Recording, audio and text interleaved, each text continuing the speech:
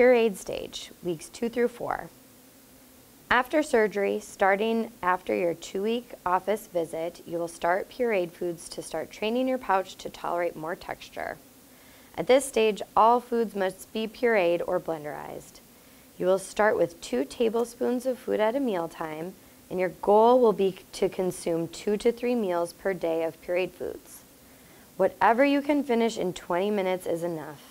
After 20 minutes, the pureed food will start leaving your pouch and entering your intestines. So if you're eating after 20 minutes, you'll be consuming more food than your body can handle. Stop before 20 minutes if you feel satisfied. Remember to go slow and take baby bites.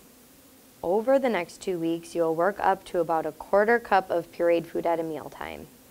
Keep drinking three shakes per day and getting in at least 64 ounces of water per day.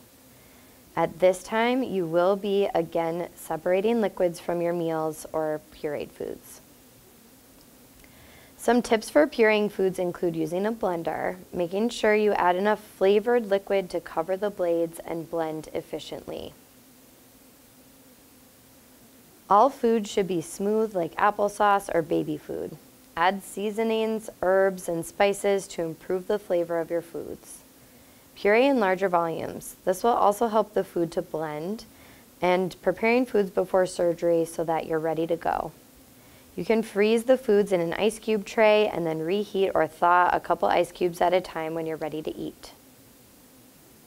At this time, it is important to avoid certain foods because your pouch is not ready for them. Do not have any high sugar or high fat foods or drinks, any foods that are not blenderized, bread, rice, or pasta in your blenderized foods, any raw veggies, lettuce, corn, peas, or nuts in your blenderized foods, beef or pork, skins or seeds from fruits and vegetables. It is also not advised to make protein shakes into fruit smoothies at this point in time because it adds too much volume to the shakes. You will continue to eat or drink a protein shake every three hours throughout your day. This will help you to get in enough food and protein after surgery. See the schedule to the right for an example. Remember, you should aim for three shakes per day and two to three meals of pureed foods per day. You may have to set timers to remember to eat. Make this work for your schedule. Make sure you're separating liquids from your pureed foods. Stop drinking 30 minutes before pureed foods, no drinking with pureed foods, or 30 minutes after your pureed foods. Keep pushing fluids between your meals and snacks. Sip, sip, sip. Here's a list of pureed food ideas that you can try after surgery.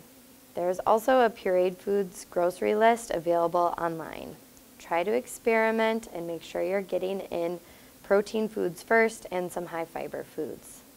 You can try pureed oatmeal, pureed cottage cheese with pureed fruits, refried beans, mashed potatoes or sweet potatoes, pureed steamed or roasted vegetables, pureed fruits, pureed cooked vegetables, Greek yogurt as long as it doesn't have chunks in it, otherwise throw it through a blender.